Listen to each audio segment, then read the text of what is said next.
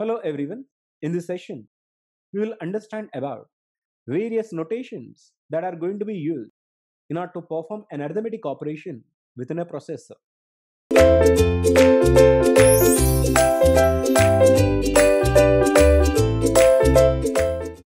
You know that there are several register organizations, in fact, three altogether.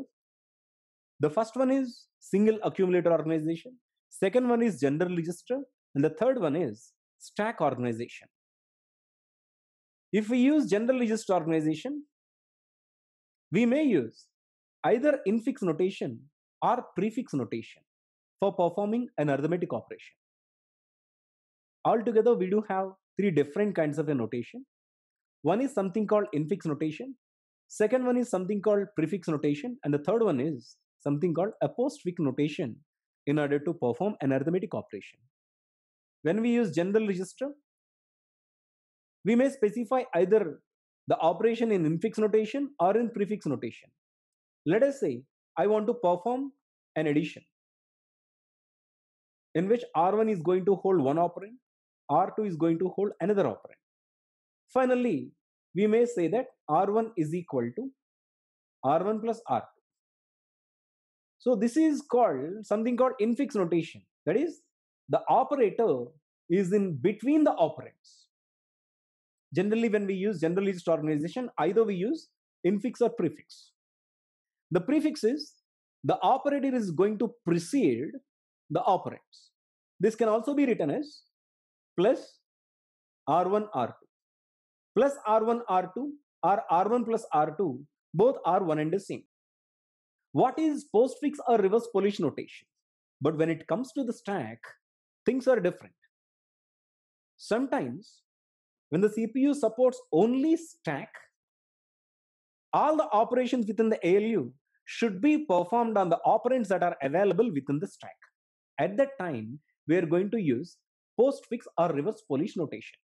Let us say I want to perform 3 into 4 plus 5 into 6. In order to perform this, initially we need to ensure that all these operands pushed into the stack. Initially we need to push 3. Let us say push 3. Then 3 will get pushed. After which we need to perform another push operation which push 4 onto the top of the stack. Then you're going to perform an addition. When you perform addition, these two will get added, will get stored here. When you perform an operation on the stack, top two elements will get added and will get located in the next element to the topmost element. So initially 3 is pushed, followed by 4 is pushed. Then you're going to perform multiplication. It is not uh, addition, it is multiplication, bigger pardon. After performing the operation, both operands will get multiplied and the result will get stored next to the top of the stack. One element less to the top of the stack and top of the stack will get erased. Now I want to perform one more multiplication in between 5 into 6 for which I need to push 5 after which I need to push 6. Then I will have to say multiplication. Then topmost two elements will get multiplied, will get stored here.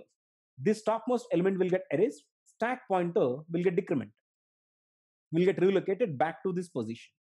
Finally, I'm going to perform addition. This is what the reverse Polish notation is all about.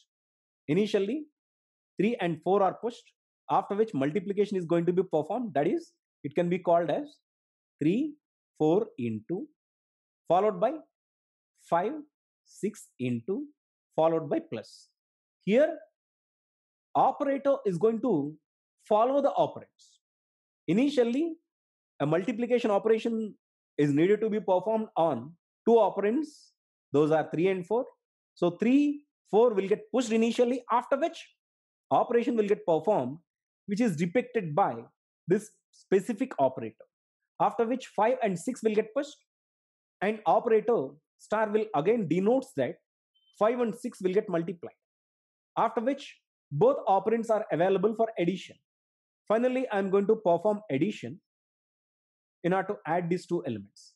Finally, after performing every operation, the stack pointer will get reduced.